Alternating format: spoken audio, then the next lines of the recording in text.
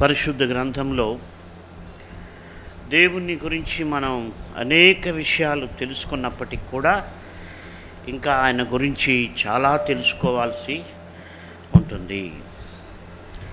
అంటే ఆయన్ని తెలుసుకున్న కొలది మనం ఆయనకు సమీపస్తులవుతాం ఆయన యొక్క శక్తిని మనం పొందుకుంటాం. పరిశుద్ధ గ్రంథంలో చక్కటి సంఘటనలు మనం చూస్తే ఒక కుష్ఠరోగి యేసుప్రభు దగ్గరకు వచ్చాడు. ఎంత దగ్గరకు వచ్చాడంటే యేసుప్రభు ఇంకా ఆయన్ని చేతితో తాకి అంత దగ్గరకు వచ్చాడు. అది మత స్వార్థ ఎనిమిదో అధ్యాయంలో ఉంటుంది. అయితే లూకాసువార్త పదిహేడవ అధ్యాయంలో ఆ పది మంది కుష్ఠరోగులు చాలా దూరం నిలుచుకున్నారు. అక్కడ రాయబడింది వాళ్ళు చాలా దూరం ఉన్నారు. అక్కడ మనం చూసినట్టయితే వాళ్ళు ఎందుకు దూరంగా ఉన్నారు? ఈయన ఎందుకు దగ్గరగా ఉన్నాడంటే ధర్మశాస్త్రం అన్నటువంటిది ఈ పది మంది రో- కుష్ఠరోగులను దూరం పెట్టింది. ధర్మశాస్త్రం ప్రకారం కుష్ఠరోగులు సమాజంలో మనుషులకు దగ్గర రాకూడదు అన్నటువంటి ఒక సిద్ధాంతం. ఈ పది మంది కుష్ఠరోగులు ధర్మశాస్త్రంలో ఉన్నటువంటి ఆ మాటలను బట్టి యేసు ప్రభు దగ్గరకు రాలేకపోయారు. చాలా దూరంగా నిలబడినట్టుగా మనం మళ్ళీ మీరు చూసుకోవచ్చు. పదిహేడవ అధ్యాయం. ఎంత దూరం నిలబడ్డారంటే వాళ్ళు గొంతెత్తి గట్టిగా ప్రభువుని పిలిచేంత దూరంలో నిలబడ్డారు. ఎందుకంటే వాళ్ళు ధర్మశాస్త్రాన్ని దానికి లోబడ్డారు. లేకపోతే ఆ యొక్క ధర్మశాస్త్రం యొక్క చట్టం అది. మరి ఈ కుష్ఠరోగి ఎందుకు దగ్గరయ్యాడు? ధర్మశాస్త్రం కుష్ఠరోగులందరికీ ఒకే ఒకే చట్టం. కుష్ఠరోగులు అన్న వాళ్ళు ఎవరు కూడా మనుషుల దగ్గరికే రాకూడదు. అయితే ఈ కుష్ఠరోగి దగ్గరకు వచ్చాడు ఎనిమిదవ అధ్యాయంలో మత్తయి వార్తలో. చాలా దగ్గరకు వచ్చాడు. మొదట్లోనే రాయబడింది ఆయన ఆ కొండకి దిగి వచ్చినప్పుడు కుష్ఠరోగి ఒకడు వచ్చి ప్రభా నీకు ఇష్టమైతే నన్ను శుద్ధునివుగా చేయగలవనని. అప్పుడు ప్రభు అన్నాడు నాకు ఇష్టమే అని చెప్పి ఆయన చెయ్యి చాచి వాడిని ముట్టాడు. అంటే ఏంటి? ఒకటిన్నర అడుగు దూరంలోకి వచ్చాడు. చాలా దగ్గరలోకి వచ్చాడు. వీళ్ళు గొంతెత్తి అరిచేంత దూరం. అంటే బహుశా ఒక ఒక ఫర్లాంగ్ దూరంలో ఉంటారు. సో ఈ తేడా ఎందుకు? అంటే ఈ దగ్గరకు వచ్చిన కుష్ఠరోగి యేసు ప్రభు యొక్క ప్రసంగాన్ని విన్నాడు. ఆయన కొండ మీద ఉన్నాడు ఈయన కొండ కింద ఉన్నాడు. ప్రసంగం విని దేవుడు నన్ను దగ్గరకు రాణిస్తాడు ధర్మశాస్త్రం ఏం చెప్పినప్పటికీ ఈ ఏసయ్య నన్ను దగ్గరకు రాణిస్తాడు అన్నటువంటి నమ్మకం ఆయన కుదిరింది ఆయన దగ్గరకు వచ్చాడు. సో మన మెయిన్ టాపిక్ ఏంటంటే యేసును గురించి ఆయన బాగా తెలుసుకున్నాడు కాబట్టి ఆయన యేసు ప్రభు దగ్గరకు వచ్చాడు. వాళ్ళకు తెలియదు కాబట్టి దూరంగానే ఉన్నారు. ఓ మేము అక్కడ దగ్గర పోకూడదు అని వాళ్ళు అనుకున్నారు. కాబట్టి మనం యేసు ప్రభుని గురించి తెలుసుకున్న కొద్దీ మనం ఆయనకు సమీపస్థులు అవుతాం నా ఎద్దుకు వచ్చువాన్ని నేను ఎంత మాత్రమును త్రోసివేయను అన్నాడు. కాబట్టి ఆయన మనల్ని త్రోసివేసే దేవుడు కాదు. సో ఈ సందర్భంగా చాలా విషయాలు ఉన్నాయి అయితే ప్రత్యేకంగా నేను దేవుడు మన జీవితాల్లో చేయగల విషయాలు ఒక నాలుగు విషయాలు మాత్రం మనం ధ్యానం చేస్తాం. నెంబర్ వన్ ఏంటంటే ఆయన మనకు బలము ధరింపచేసేవాడు. రెండవది మనల్ని యథార్థ మార్గములో నడిపించేవాడు. మూడవది మనకు సామర్థ్యము కలగజేసేవాడు. నాలుగవది ఆయన ఆశ్చర్యమైన ఆలోచన శక్తి అధిక బుద్ధి అనుగ్రహించేవాడు. కాబట్టి ఈ నాలుగు విషయాలు ఆయన చేస్తాడని బైబిల్లో ఉంది. మనం చేస్తామని లేదు. కాబట్టి ఈ నాలుగు విషయాలు నాకు చాలా ఇష్టం. ఎందుకంటే నన్ను చేయమని దేవుడు అడగడం లేదు. ఆయన చేస్తానన్నాడు. నన్ను చేయమంటే మళ్ళీ కష్టమే. మన శక్తి చాలదు. అయితే దేవుడు అంటున్నాడు నేను నీతో చేయిస్తాను. హల్లెలూయా. నేను నీతో చేయిస్తాను. మొట్టమొదటి మనం చూసినట్టయితే ఆయన బలము ధరింపచేసేవాడు. కీర్తనల గ్రంథం పద్దెనిమిదవ అధ్యాయం ముప్పై రెండవ వచనంలో రెండు విషయాలు మనం చూస్తాం. ఆయన అంటున్నాడు నాకు బలము ధరింపచేయువాడు ఆయనే. ఆయనే.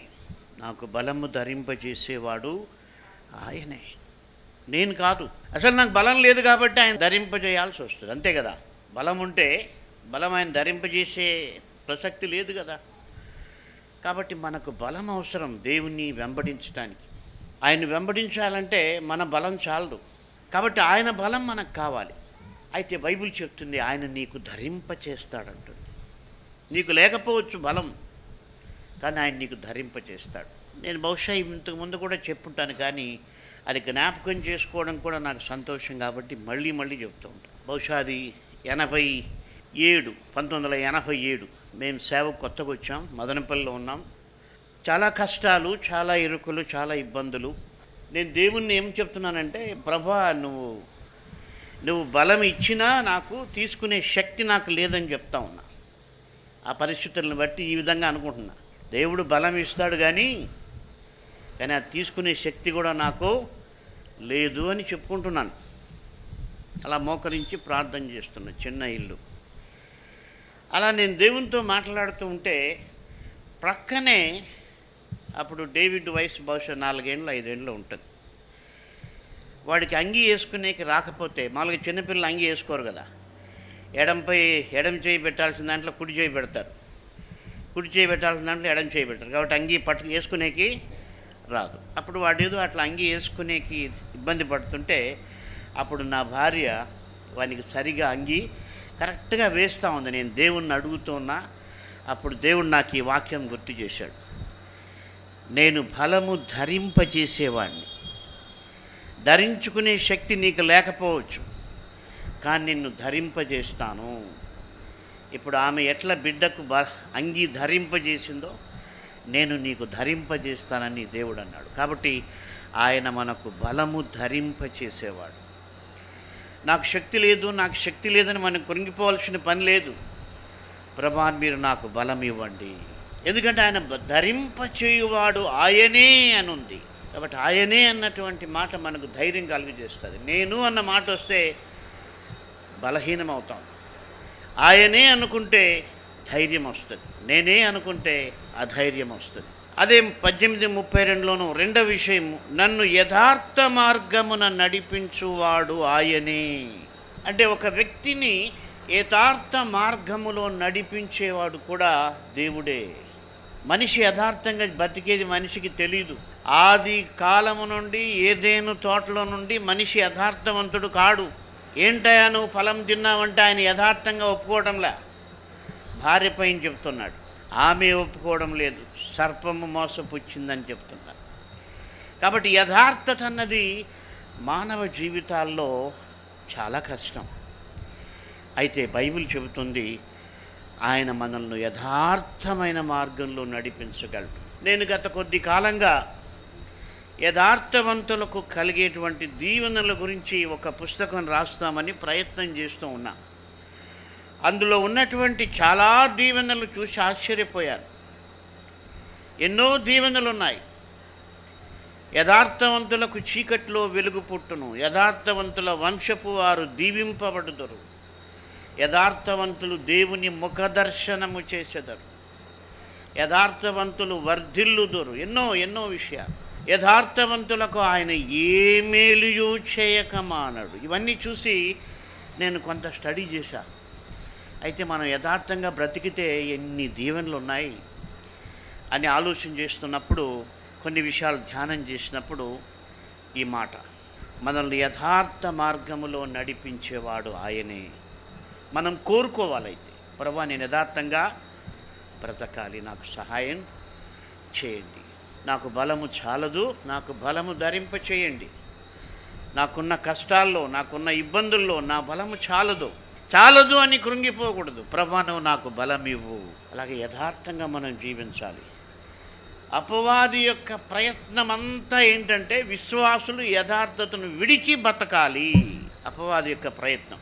ఎందుకంటే వాళ్ళు యథార్థంగా బ్రతికితే ఇదిగో ఈ దీవెనలన్నీ వస్తాయి. వాళ్ళ సంతానం వారు ఆస్వాదించబడతారు వారికి చీకట్లో వెలుగు పుడుతుంది వారు వర్ధిల్లుతారు వారు దేవుని ముఖదర్శనం చేస్తారు ఏ మేలు కూడా వాళ్ళకి కొద ఉండదు ఇన్ని ఉన్నాయి. కాబట్టి అపవాదం ఏం చేస్తుందంటే యథార్థమైన జీవితం లేకుండా చేస్తుంది. అందుకే భార్యలకు తెలియకుండా భర్తలు భర్తలకు తెలియకుండా భార్యలు ఎన్నో పనులు ఎన్నో పనులు. దేవునికి చెప్పరాని విషయాలు ఇన్వాల్వ్ కావాలి. అంటే యథార్థత లేకపోవటం. అయితే మనం అడిగితే ఆయన యథార్థ మార్గంలో నడిపిస్తాడు. ప్రభా నేను యథార్థంగా ఉండాలి. మనుషులకు భయపడాల్సిన పని లేదు. యథార్థ. అందుకనే ఆయన అంటాడు యథార్థవంతుల మార్గము రాజమార్గం అంట. అంటే చక్కగా ఉంటుంది. క్షేమంగా ప్రయాణం చేయొచ్చు. ఇక్కడ నుంచి నాయుడుపేట వరకు కారులో డ్రైవ్ చేయాలంటే చాలా కష్టం. చాలా గుంతలు చాలా మెట్లు అసలు చాలా ఇబ్బందిగా ఉంటుంది. అయితే నెల్లూరు హైవే ఎక్కిన తర్వాత చక్కగా ప్రయాణం చేయొచ్చు. అంటే ఏంటి? మనం యథార్థంగా బ్రతికితే మన ఆత్మీయ జీవితం చక్కగా ఉంటుంది. లేకపోతే హెచ్చు తగ్గులు బాధ మనస్సాక్షి చంపుకోవటం ఇవన్నీ కూడా అడ్డదిడ్డంగా తయారవుతుంది. అందుకే సైతాన్ ఏం చేస్తారంటే పెద్ద పెద్ద పాపాలు చేయించకపోయినా యథార్థతను వదిలిపెట్టి జీవించమంటాడు. అయితే మనం అడిగితే ఆయన మనకు బలము ధరింపజేస్తాడు యథార్థ మార్గంలో నడిపిస్తాడు. మూడో విషయం ఆయన మనకు సామర్థ్యము కలగజేస్తాడు. ఏంటి? ఆయన్ను వెంబడించటానికి. ద్వితీయోపదేశకాండం ఎనిమిదవ అధ్యాయం పద్దెనిమిదవ వచనం. కాగా నీ దేవుడైన యహోవాను జ్ఞాపకము చేసుకొనవలెను. ఏలైనగా తాను నీ పితరులతో ప్రమాణము చేసినట్లు తన నిబంధనను నేటి వలె స్థాపింపవలనని మీరు భాగ్యము సంపాదించుకున్నటకై మీకు సామర్థ్యము కలుగజేయువాడు ఆయనే. అంటే ఆయన చిత్తాన్ని చేయడానికి కూడా ఆయనే సామర్థ్యం కల్పిస్తానంటున్నాడు. దేవుని యొక్క నిబంధనను పాటించటానికి ఆయనే బలమిస్తాడు ఆయనే యథార్థ మార్గంలో నడిపిస్తాడు ఆయనే సామర్థ్యం కలిగజేస్తాడు. ఈ విషయాలు మనం తెలియకపోతే కృంగుదలతో బతకాల్సి వస్తుంది. కాబట్టి మనం ఆయన యొక్క కృపను గురించి మనం ధ్యానం చేయాలి. సామర్థ్యము కల్పిస్తాడు. కొత్త నిబంధనలో పౌలు కూడా రెండవ కొరింతి పత్రిక మూడవ అధ్యాయం ఐదవ వచనంలో ఆయన అంటున్నాడు మా వలన ఏదైనా అయినట్టుగా ఆలోచించుటకు మాయంతట మేమే సమర్థులమని కాదు. మా సామర్థ్యము దేవుని వలననే కలిగి ఉన్నది. కాబట్టి దేవుడు సామర్థ్యం ఇస్తాడు. నా చేత కాదు నా వల్ల కాదు అనేది మన భాష. అయితే భక్తులు ఏమంటున్నారంటే నాకు దేవుడు సామర్థ్యం ఇస్తాడు బలం ఇస్తాడు యథార్థ మార్గంలో నడిపిస్తాడు సామర్థ్యం ఇస్తాడు. అంటే ఆయన నడిపిస్తే ఆ యొక్క సామర్థ్యం వస్తుంది. అని మనం కోరుకోవాలి. అది మనం కోరుకుంటే దేవుడు ఇస్తాడు. మనం కోరుకోవట్లేదు. మనలో మనం ఆలోచన చేసుకుంటున్నాం. సరే ఏదో తోచింది చేసుకుంటున్నాం. లేకుంటే ఎవరో చెప్పిన సలహాలు పాటిస్తుంటాం. కాబట్టి ఆయన సామర్థ్యం ప్రభా నీ చిత్తం చేయడానికి నాకు సామర్థ్యం కావాలి. నా కుటుంబాన్ని నడిపించుకోవడానికి నాకు సామర్థ్యం కావాలి. అది మనం చేయాలి. కాబట్టి బలమైన ఇస్తాడు యథార్థ మార్గంలో నడిపిస్తాడు సామర్థ్యం ఇస్తాడు. తర్వాత ఆశ్చర్యమైన ఆలోచన శక్తియు అధిక బుద్ధియు అనుగ్రహించువాడు ఆయనే. ఆలోచన శక్తి అధిక బుద్ధి. దేవుడే ఇస్తాడంట ఆయనే. యశయా గ్రంథం ఇరవై ఎనిమిది ఇరవై తొమ్మిదిలో ఆ మాట మనం చూస్తాం. జనులు సైన్యములకు అధిపతికి యహోవా చేత దాన్ని నేర్చుకొందురు. ఆశ్చర్యమైన ఆలోచన శక్తియు అధిక బుద్ధియు అనుగ్రహించువాడు ఆయనే.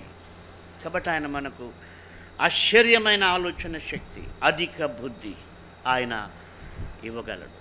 మన ఆలోచన శక్తి పరిమితమైనటువంటిది. మన సమస్యలు పరిష్కరించుకోవడానికి మన ఆలోచన శక్తికి చాలదు. దేవుని యొక్క ఆలోచన శక్తి మనకు కావాలి. ఆయన అధిక బుద్ధి అనుగ్రహించేవాడు. నాకు శక్తి చాలదు నాకు బుద్ధి చాలదు అని మనం అనుకుంటున్నామంటే మనం ఆయన పైన ఆధారపడనట్లే. ఆయన చేయగలడు ఆయన చేస్తాడు. చాలాసార్లు మనం ఆయన శక్తిని మర్చిపోతున్నాం ఆయన బలాన్ని మర్చిపోతున్నాం. అందుకే చాలా డిప్రెషన్లోకి వెళ్ళిపోతాం. అయితే ప్రభు అంటున్నాడు నేను నీకు బలము ధరింప చేయగలను నిన్ను యథార్థ మార్గంలో నడిపించగలను. నీకు సామర్థ్యం కల్పించగలను. నీకు ఆలోచన శక్తి ఇవ్వగలను. అధికమైన బుద్ధి ఇవ్వగలను. ఈ విషయాలన్నీ కూడా దేవుడు ఇస్తాడన్నాడు. మన దగ్గర లేవని దేవునికి తెలుసు. కాబట్టి ఆయన ఇస్తానంటున్నాడు. మన దగ్గర లేవు కూడా. ఇవేవి లేవు. మనకు సహజంగా ఇవేవి లేవు. ఆత్మీయ బలము లేదు యథార్థత లేదు సామర్థ్యము లేదు. ఆలోచన శక్తి లేదు అధిక బుద్ధి కూడా లేదు. అయితే ఆయన ఇస్తాడు అన్నటువంటిది మనకు చాలా ఎంకరేజింగ్గా ఉంటుంది. సైతాన్ వచ్చి నీ చేత కాదు అన్నప్పుడు ఆయన ఇస్తాడు అని మనం చెప్పుకుంటే మనకు ధైర్యం వస్తుంది. నిజమే నా చేత కాదు అనుకుంటే కృంగిపోతాం. కాబట్టి ఆయన చేస్తాడు. ఆయన నడిపించగలడు. ఆయన ఆశ్చర్యమైనటువంటి కార్యములు చేసేవాడు. ఇవి మనం కోరుకోవాలి. మనం ఏం కోరుకుంటున్నాం? చిన్న చిన్న విషయాలు కోరుకుంటూ ఉన్నాం. అవి కోరుకోవడం తప్పని నేను చెప్పట్లే. కానీ అసలైనటువంటివి మనం మర్చిపోతున్నాం దేవుని దగ్గర అడగడం. ఎందుకంటే మన మైండ్ నిండిపోయింది మన సమస్యలతో. కానీ ఇవి దేవుడు ఇచ్చాడనుకో ఏ సమస్య ఉన్నా దాన్ని ఈదుకుంటూ ముందుకు పోవచ్చు. అంతే కదా? ఆ యొక్క సమస్యలు పరిష్కారం కాకపోయినా వాటి గుండా వెళ్ళుచు దేవుణ్ణి మహిమపరిచేటువంటి శక్తిని దేవుడు ఇస్తాడు. మనం ఆయన్ని అడగాలి. దేవుడు అలాగా మనకు సహాయం చేయడానికి ఎప్పుడూ సిద్ధంగా ఉన్నాడు. మనమే తీసుకోవడంలా మనమే అడగడం లేదు. మనం కేవలం మనకు అవసరమైన డబ్బు గురించి ఇంటి గురించి బట్టల గురించి ఉద్యోగం గురించి ఇవన్నీ అవసరమే. కానీ అతి ముఖ్యమైనవి మనం మర్చిపోతున్నాం. ఆయన దగ్గర పొందాల్సినవి మనం తీసుకోవడం లేదు. ఆయన దగ్గర ఏం దొరుకుతున్నాయి అన్నటువంటి మనకు తెలియదు. అదే సమయంలో కొన్నిసార్లు ఆయనకి ఇష్టము కాను కూడా మనం అడుగుతూ ఉంటాం. కాబట్టి మనం ఆయనకు సమీపస్థులమైతే గొప్ప శక్తి గొప్ప కృపను మనం చూస్తాం. నిజంగానే మనం ఆయన చూడొచ్చు. యథార్థవంతులు ఆయన ముఖ దర్శనం చేస్తారన్న మాట ఆయన మనకు కనిపించినట్టుగానే ఆయన మనతో ఉన్నట్టుగానే ఆ భావం మనకు కలిగేట్టుగా ఆ అనుభవం మనం పొందగలం. ఆయన చేయగలడు. ఆయన నమ్మదగినవాడు. విశ్వాస్యత గలవాడు. నీ విశ్వాస్యత ఆకాశమునంటుచున్నది అంతరిక్షమునంటుచున్నది నీ భక్తుడు అంటాడు ఆయన ఏమైనా చేయగలరు అయితే మనం ఇవి కోరుకోవాలి. ప్రభా నాకు మీ చిత్తం చేయడానికి మీ బలం కావాలి. మిమ్మల్ని మహిమపరచడానికి నేను యథార్థమైన మార్గంలో నడవాలి. మిమ్మల్ని మహిమపరచడానికి నాకు సామర్థ్యం కావాలి. నా సమస్యలు పరిష్కరించుకొని మిమ్మల్ని మహిమపరచడానికి నాకు తగిన ఆలోచన శక్తి కావాలి. నిన్ను వెంబడించడానికి నిన్ను ఘనపరచడానికి నాకు అధిక బుద్ధి కావాలి. దావీదు ప్రార్థన చేశాడు నాకు బుద్ధి దయచేయము. కాబట్టి మనం ఈ విషయాలు మనం దేవుని ప్రతిరోజు అడగాలి. ప్రతిరోజు మనం కొన్ని ప్రార్థనలు చేస్తాం. ఏంటి? ప్రభా ఈ ఆహారాన్ని దీవించండి. బయటికి పోయేటప్పుడు ప్రభా నేను బయట పోతున్నాను. అపాయం జరగకుండా సహాయం చేయండి. రాత్రి పడుకున్నప్పుడు ఇంకా భయం ఉండేవాళ్ళైతే ప్రభా దయాలు రాకుండా సహాయం చేయండి. ఇవి మనం రోజు చేస్తాం. మంచిదే. కానీ ఇవి చేయండి ప్రతిరోజు ఎలా ఉంటుందో మీ జీవితం చూడండి. ప్రభా నాకు ఆత్మీయ బలం కావాలి. నాకు యథార్థమైన జీవితం కావాలి. సామర్థ్యం కావాలి. ఆలోచన శక్తి కావాలి. అధిక బుద్ధి కావాలి. అని మనం ప్రతిరోజు ప్రార్థన చేయగలిగితే తప్పకుండా దేవుడు ఇస్తాడు. ఆ సమయస్ఫూర్తి ఆ యొక్క సమయాన్ని దేవుడు ఇస్తాడు. నేను గత నెలలో ఢిల్లీ పోయినప్పుడు నాకు తెలియదు అంత పెద్ద మీటింగ్ అని. పెద్ద స్టేడియంలో దాదాపు ఏడు వేల మంది వచ్చారు. ఆ పెద్ద స్టేడియం ఎప్పుడు చూడలే నేను. అంటే నేను అటువంటి పెద్ద సభల్లో ఎప్పుడు మాట్లాడలేదు. సో అక్కడ నేను పోయిన వెంటనే చాలాసేపు ఏడుస్తూ ఉన్నా స్టేజ్ పైన. వాళ్ళు పిలిచేంత వరకు. ప్రభా రెండు వేల ఇరవైలోనే నేను చనిపోవాల్సింది. అయితే మీరు ఎంత దయగల దేవుడు. నన్ను బ్రతికించి ఇంత గొప్ప ప్రణాళికను మీరు కలిగి ఉన్నారు. నేను అయిపోయింది అనుకున్నా. అప్పుడు ఆయన దేవుని విశ్వాస్యతను బట్టి నేను దేవుణ్ణి స్థుతించాను ఎందుకంటే ఆయన ఇచ్చాడు ఆరోగ్యం ఇచ్చాడు బలం ఇచ్చాడు యథార్థంగా నడుచుకునేదానికి కృపనిచ్చాడు సామర్థ్యం కల్పించాడు. అసలు అంతమందిలో మాట్లాడడానికి భయం వేస్తుంది రెండోది భాష ఇంగ్లీష్లో మాట్లాడాలి. అయితే దేవుని కృప వలన ధైర్యంగా ఆ సమయంలో నాకు తెలియకుండానే ఆ కొద్ది సమయంలో చెప్పడానికి ప్రభు సహాయం చేశాడు. అంటే ఏంటి నేను చెప్పదలుచుకున్నానంటే మనకు చేత కాంది ఆయన మన చేత ఆయన మహిమ కొరకు చేయించగలడు. పరిశుద్ధాత్మ యొక్క ప్రయత్నం అంతా ఇదే. ఏంటంటే మనకు బలం ఇవ్వడానికి మనల్ని యథార్థంగా నడిపించటానికి మనకు సామర్థ్యం కల్పించటానికి మనకు ఆలోచన శక్తి ఇవ్వడానికి అధిక బుద్ధి ఇవ్వడానికి పరిశుద్ధాత్మ దేవుడు మనల్ని ప్రేరేపిస్తూ ఉంటాడు. అయితే ఇంకొక వైపున సైతాను మనలో ఉన్న ఆత్మీయ బలము తీసివేయడానికి మన యథార్థతను విడిచిపెట్టడానికి మనకున్న సామర్థ్యాన్ని తీసివేయడానికి మనకున్న ఆలోచన శక్తిని అంటే లోకంతో కలిసిపోతే మనకున్న ఆలోచన శక్తి పోతుంది ఆత్మ సంబంధం మనకున్న బుద్ధి కూడా పోతుంది. అది సైతాన్ యొక్క ప్రయత్నం.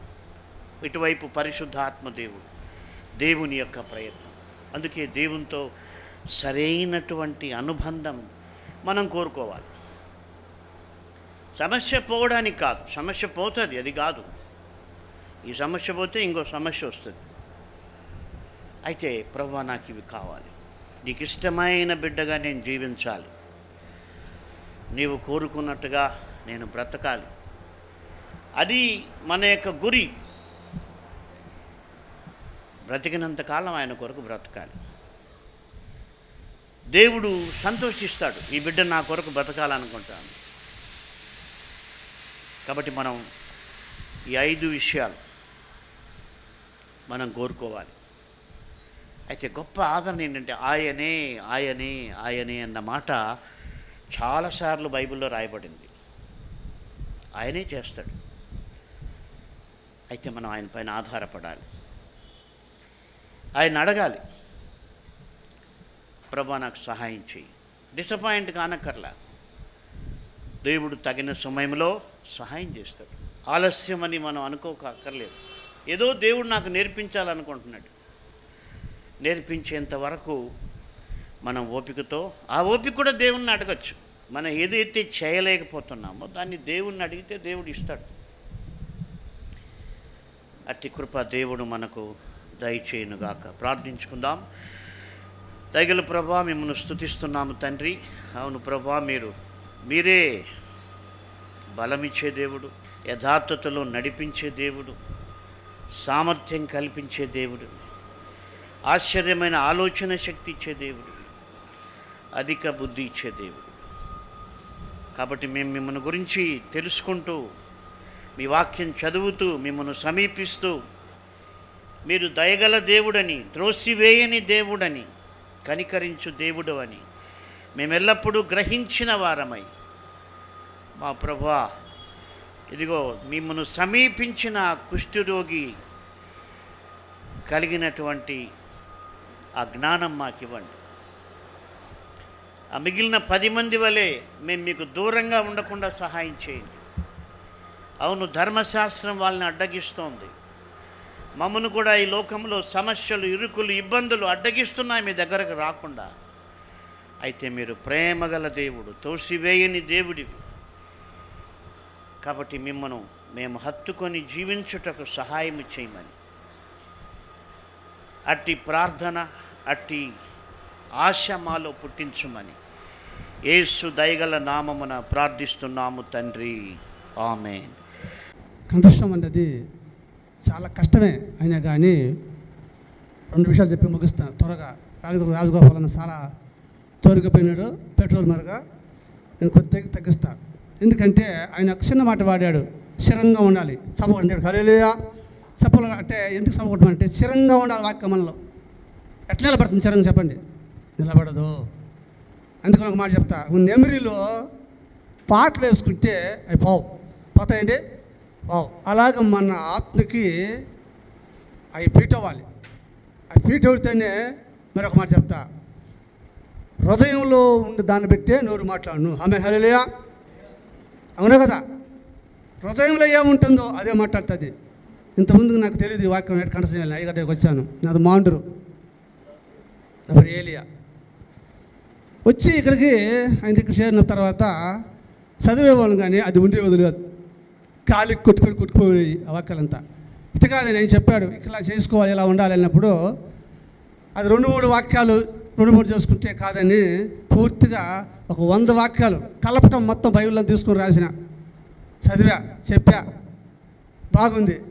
అప్పుడు నా నాలో ఏమున్నాయంటే చెప్తాడు యెహోవా ధర్మశాస్త్రం అనుసరించి నిర్దోషంగా నడుచుకున్న వారి ఆయన శాస్త్రం అనుసరించి పూర్ణ హృదయంతో పూర్ణ హృదయంతో ఆయన ఎత్తుకువారు ధన్నులు వారు ఆయన మార్గం నడుచుకుని ఏ పాపం చేయరు. హలేయా అంటే దేవుని వాక్యంతో నడుస్తున్నప్పుడు నాకు ఏమనిచిందంటే నాలో ఉన్న ఒక చెడుతనం నాలో ఉన్న ఒక బూతులు నాలో ఉన్న ఒక పాప కరిగిలంత ఏమేస్తాయా? అణిగిపోతాయి. మన రావు. హలేయా రావండి రావు. ఎందుకంటే అది మళ్ళీ వచ్చేస్తుంది. మళ్ళీ విడిపోతుంటాయి అప్పుడు మళ్ళీ చెడుతనం ఏం చేస్తుంది? పరారైపోతుంది. ఈ వాక్యం నడవంగా నడవంగా నడవంగా సుమారు ఒక ఐదు వందల దాకా నేర్చుకున్నాను. ఇప్పుడు అయ్యా పాటిస్తున్నాము. దయచేసి నెమిరిలోకి మనం వేసుకుందాం. నెమిరిలో పెట్టుకుందాం. ఉంటాయో ఉండవు బైబిల్ మనకు తెలియదు కాబట్టి ఈ పెద్దలు అందరికీ నా వందనాలు. అందరికీ వందనాలు. నేను కూడా చదువు దేవుని పరిశుద్ధ నామాన మీకు అందరికీ నా హృదయపూర్వక వందనాలు. మరి యొక్క వంద వాక్యాలు ధ్యానించడానికి దేవుడు కృపనిచ్చారు. ఆ వంద వాక్యాలు ధ్యానిస్తున్నప్పుడు ఆ వాక్యములో ఉన్న సత్యాన్ని తెలుసుకోవడానికి వాక్యాన్ని లోతుగా ధ్యానించడానికి ఎందుకంటే కీర్తనాకారుడు నూట పంతొమ్మిదవ కీర్తనలో చెబుతున్నాడు నీ వాక్యము నా పాదములకు దీపమును నా త్రోవలకు వెలుగునై ఉన్నది. అదే నూట పంతొమ్మిదవ కీర్తన పద్దెనిమిదిలో నేను నీ ధర్మశాస్త్రం ఆశ్చర్యమైన సంగతులు చూసినట్లు నా కనులు తెరువుము అని లేఖన రాయబడి ఉంది. రెండోది ప్రసంగానికి చాలా అనువుగా ఉంది. ఎక్కడన్నా మనం ప్రసంగం చేయాలంటే ఆ వాక్యము బాగా తెలిసి చేయడానికి సులువుగా ఉంది. ఎందుకంటే వాళ్ళని చదవమని వీళ్ళని చదవమని అదంతా కూడా సమయం వేస్ట్ అవుతూ ఉంటుంది. కాబట్టి దీనివల్ల కంటెస్ట్ చేసేదాని వల్ల వాక్యము సూటిగా మనం చెప్పడానికి బాగుంటుంది. మూడోది ఆ ఫ్లోయింగ్ కానీ రిసీవింగ్ కానీ సంఘములో బాగా దాన్ని అబ్జర్వ్ చేస్తున్నారు. సేవకులు ఎందుకంటే సేవకులు వాక్యముతో నింపబడితే సంఘము వాక్యముతో నింపబడుతుంది. వాక్యము తెలిసిన వారే మరి ఇతరులకు వాక్యాన్ని బోధించగలుగుతారు. ఆ విధంగా ఈ కంటతా వాక్యాలు నేర్చుకోవడం అది మాకు ఒక ఆశీర్వాదకరంగా భావిస్తున్నాం. ఎందుకంటే ఈ దీనివల్ల అనేకులు ఉజ్జీవింపబడతారు. వాక్యము వెలుగులో సంఘము నడుస్తుంది. వాక్యము తెలిసి ఉండటం వల్ల రాబోయే కాలంలో మనం దేవుని సేవ చేయడానికి బాగా అనువుగా ఉంటుంది. దాన్ని బట్టి ఈ వాక్యమును నేను ఇకను ఐదు వందలకు పరుగు తీస్తూ ఉన్నాను. నేను చాలా లేటుగా ఎంటర్ అయ్యాను కాబట్టి ఇప్పుడు ఐదు వందల పరుగులో ఉన్నాను. కాబట్టి దీన్ని బట్టి నేను చాలా సంతోషపడుతున్నాను. అందరూ కూడా వాక్య పాఠం నేర్చుకుంటే సంఘము బాగుంటుంది. ఇతరులతో మనం మాట్లాడడానికి కూడా వాక్యము ద్వారా మాట్లాడడానికి వాక్యము ద్వారా జవాబు ఇవ్వడానికి కూడా బాగుంటుందని నేను భావిస్తూ ఉన్నాను. నా పేరు పద్మజ. ప్రభు యొక్క మహాకృప వలన మరియు నా భర్తగారైన పాస్టర్ గాలి గంగరాజు గారి ప్రేరేపణ వలన పరిశుద్ధ గ్రంథములోని వెయ్యి వాక్యములు కంఠాపాఠము చేసినాను. ప్రభు యొక్క కృప వలన మా పిల్లలందరితో కూడా బైబిల్ వాక్యములు కంఠాపాఠము చేయించినాము. మా ఇద్దరు కుమారులు డేవిడ్ కరుణాకర్ జేమ్స్ కరుణాకర్ మరియు మా కుమార్తెలు గ్రేస్ మెర్సీ బ్యూలా వెయ్యి వాక్యములు కంఠాపాఠం చేసినారు. తల్లిదండ్రులందరూ కూడా బైబిల్ వాక్యములు కంఠాపాఠం చేసి తమ తమ పిల్లలందరితో కూడా బైబిల్ వాక్యములు కంఠాపాఠం చేయించుట గొప్ప ఆశీర్వాదము. అట్టి కృపను దేవుడు అందరికీ అనుగ్రహించవలనన్న ఉద్దేశముతో ద బైబిల్ ఫౌండేషన్ సంస్థ స్థాపించబడింది.